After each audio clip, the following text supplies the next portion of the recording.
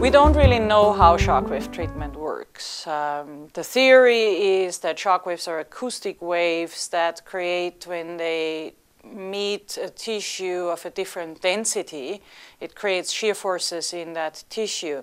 And this, these shear forces release gas bubbles on the cell surface, which is called cavitation. And these gas bubbles will release on the cell surface some inflammatory mediators as well as growth factors.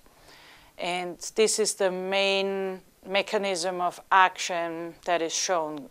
The gas bubble formation has been only reproduced in physical experiments because you cannot really show that in tissue.